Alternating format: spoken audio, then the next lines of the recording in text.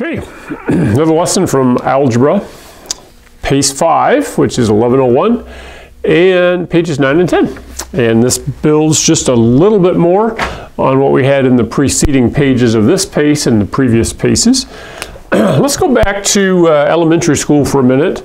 And remember, if I have a fraction like 2 thirds divided by, let's say, 6, whoops, 6 tenths. How would I solve that? Well, the answer is that we flip the second fraction, right? So this one becomes 10 over 6. And now we look to see if there's anything that will cancel from the top to the bottom. And I can see right here, this divided by 2, and I would get 3. So now I can multiply straight across and get 10 over 9. Okay, and then you could reduce that if you were doing fractions. But we always flip the one we're dividing by and then see if anything cancels and then we're done. So let's take this problem right here for instance. In order to solve this, I'm going to keep this the same, but I'm going to multiply by, flip this upside down, 27x squared over 8ab and now I can look anywhere from top to bottom to see what will cancel. So let's look first at the number parts here. I'm seeing 27 and 9. They're both divisible by 3. Okay. Actually, both, both divisible by 9. Okay, because this 9 divided by 9 is 1. 27 divided by 9 is 3. Let's go this way. Can we cancel the 8 against the 16? Sure. Get 2 and 1. And now let's see about canceling the a's. So you remember we have a squared up here, and I have 1a here. So it's kind of like saying a times a on the top, and I have an a on the bottom. So one of these will cancel out. So I can cancel that, and this becomes just a to the 1. Same thing happens with b, okay? That cancels out and this becomes b squared. I'm canceling one of them. It's kind of like saying b times b times b is b to the third power. And then over here I have 1b on the bottom. And so one of these will cancel one of these and I'm left with two b's which is b squared. All right? Let's do the same with the x's. Now I have more x's on the bottom. So I have two x's on the top, x squared. Down here I have x, x, x, three x's. So this one cancels this one. This one cancels this one.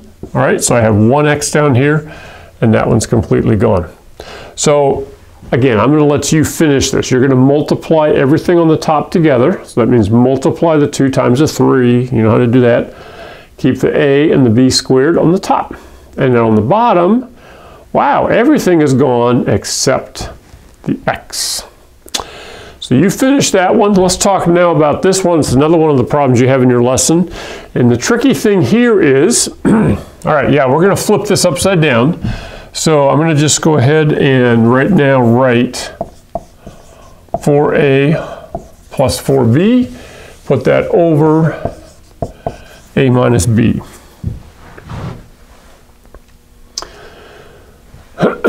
now that we flipped it, I can multiply. All right.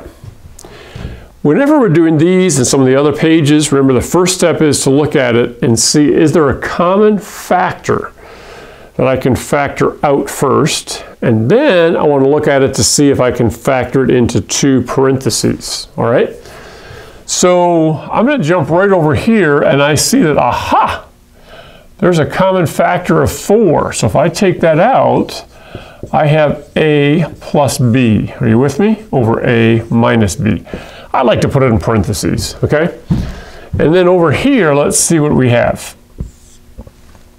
Remember factoring, it's perfect, difference of perfect squares. So we'll do a, a, b, b. One's positive, one's minus. This one's a little trickier. I, this is the whole parentheses squared. So what that means is A plus B times A plus B. Sometimes it helps to write it out that way. And then you can, then you can more easily see what cancels, all right?